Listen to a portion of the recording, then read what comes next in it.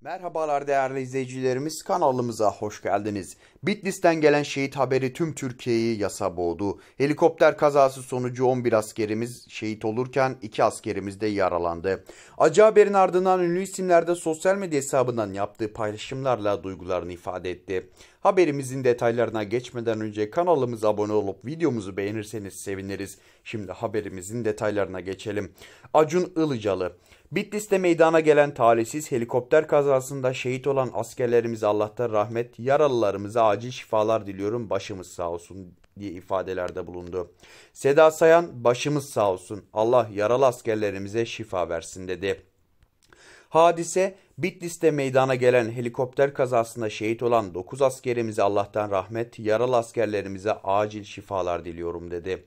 Hakan Hatipoğlu 9 şehidimiz var çok üzücü başımız sağ olsun yaralı askerlerimize şifalar dilerim ifadelerinde bulundu.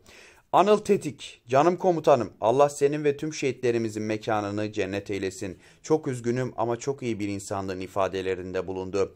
Işın Karaca, Bitlis'te helikopter kazası sonucu hayatını kaybeden 9 askerimize Allah'tan rahmet, ailelerine sabırlar diliyorum dedi. Muazzez Ersoy, Askeri helikopterimizin düşmesi sonucu şehit olan askerlerimize Allah'tan rahmet, yaralılarımıza şifa, ailelerine ve milletimize sabır dilerim, çok üzgünüm ifadelerinde bulundu. Çağatay Ulusoy, Bitlis'te şehit olan askerlerimize Allah'tan rahmet, kıymetli ailelerine ve yakınlarına başsağlığı diliyorum dedi. Mustafa Ceceli, Tatvan'da askeri helikopter kazasında 9 şehidimiz 4 yaralımız var. Milletimizin başı sağ olsun dedi. Alişan, şehitlerimize Allah'tan rahmet, yaralı askerlerimize acil şifalar diliyorum, başımız sağ olsun dedi. Derya Ulu, Bitlis'te düşen helikopterde şehit düşen askerlerimize Allah'tan rahmet, acılı ailelerine sabır diliyorum. Yaralılara acil şifalar dedi. Murat Boz, Bitlis Tatvan'da askeri helikopterin düşmesi sonucu şehit olan askerlerimize Allah'tan rahmet, yakınlarına başsağlığı diliyorum, başımız sağ olsun dedi.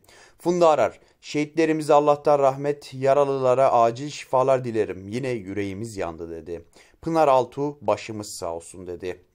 Biz de Hayat ve Eğitim kanalı olarak şehitlerimize bir kez daha Allah'tan rahmet, yaralı askerlerimize acil şifalar diliyoruz.